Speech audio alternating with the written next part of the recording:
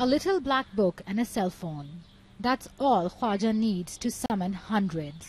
He claims he provides what the government has not delivered.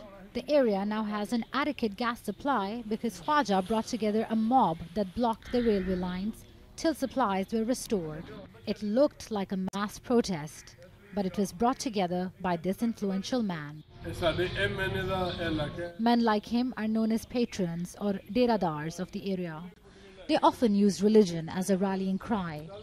Khwaja insists he works for the good of community, but admits others can exploit mob power for their own purposes. People have personal feuds and problems that they turn into religious issues and instigate mobs, and violence ensues after that. Any lie could be spread that a certain person, for example, has burnt the pages of the Quran or something like that. Nobody is going to verify that information, they will just follow it and gather a mob. Last year, a violent crowd here in Gujranwala burnt down the houses of the minority Ahmadiyya community after accusations of blasphemy. Three little girls and their grandmother died in the fire. The survivors are too afraid to ever come back home. In this country, it is not unusual for a large crowd of curious onlookers to gather around what they consider to be unusual. As you can see, a large crowd of spectators is already gathering here. Now, it doesn't take much for a large crowd of harmless spectators to become a potentially violent mob. All it takes is a catalyst in the form of a few instigators, and gathering those instigators has become big business here. The BBC got rare access to one of the dens that claims to be running a mob for hire business. As I walked in, a business deal was already in the making.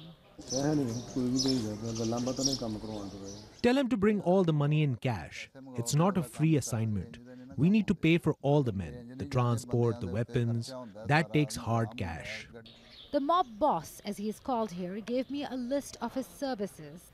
Anything is possible at the right price. You can get mobs for anything.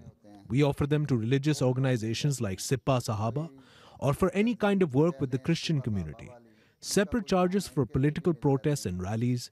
There are men available here for everything at the right price. We found the individual who plays the part of a middleman for these transactions. The clients come to him, he connects them to the right mob. Let's say there is this man who wants to get a road blocked or want the government to accept his demands. He calls us and demands that he needs 300 to 400 men. For that, we get daily wagers who sit in city squares and we pay them 1000 rupees each and give them assurance that if they get arrested, we will bail them out. The police say they're often helpless because alleged mob sponsors are well connected.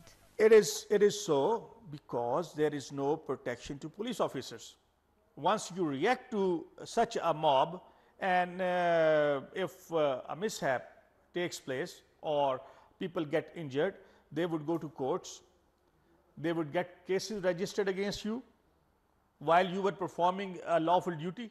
In a country where few trust the authorities, it's easy for mobsters to harness the frustration of the people for their own ends. Many say justice doesn't happen in police stations or courtrooms, it happens on the street. But its victims, who have no access to a fair trial, are left to gather the ashes of their lives after the mob has passed. Saba Eitizaz, BBC News, Gujranwala.